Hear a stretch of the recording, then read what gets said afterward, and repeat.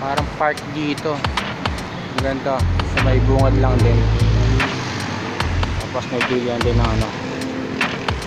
Farm ready. Para makabot sa mga halaman. Ito ang kutok mga kamay. Diba? Ganda. Ah, Dito lang sa bungad mga kamay. Ayan. Ang ganda.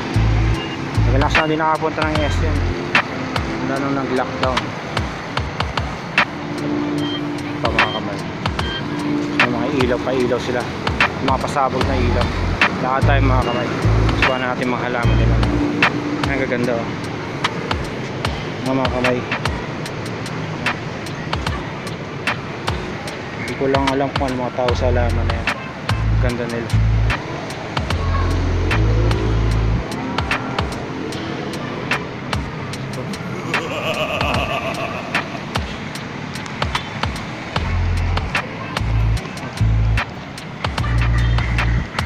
Ay, unique pa mga kamay oh.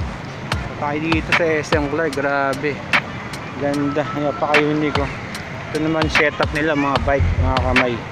Ayan, tingnan natin bawal sa kanila mga kamay. Ayan. Ito, violet ang dating nyo. oh. Oh. Ganda mga kamay. Ito naman, yung ginagamit sa construction, di ba? Ano ang tawag dyan?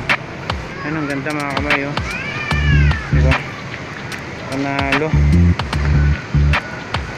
Artistic yung nakaisip nito mga kamay. Ito pa oh. Ayan oh.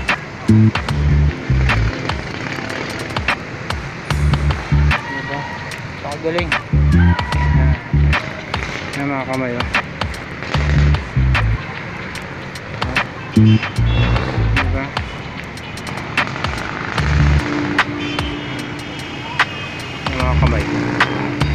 Hindi ako magsasalita mga kamay. Panoorin nyo na lang mga kamay. ah.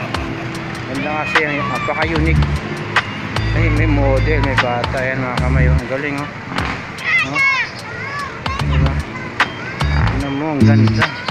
Ang batang. Oh. Gam- Gamitin to sa ano. Pag ikakasal ka na. Ganyan ang ano mo. Ano ba tawag doon? Motive. Ang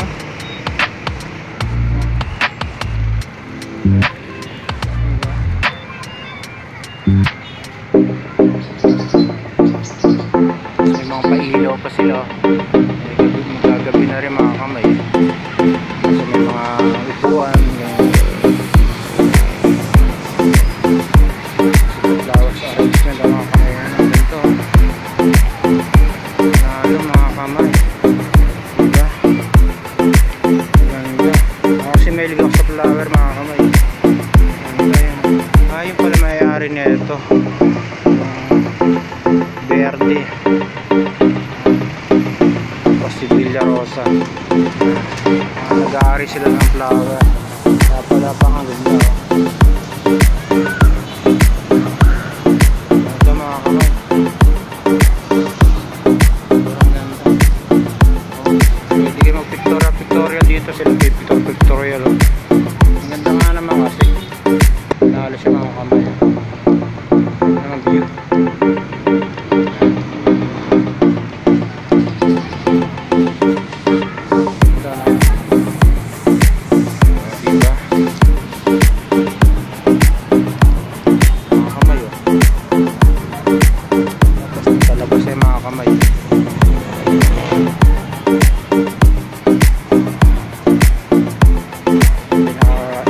Pinakalabasan niya mga kamay.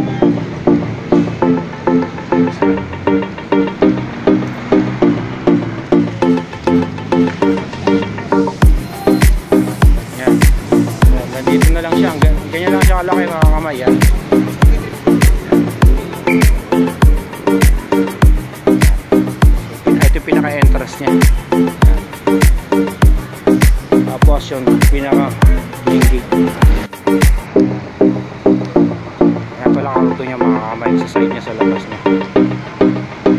Ganda mga kamay.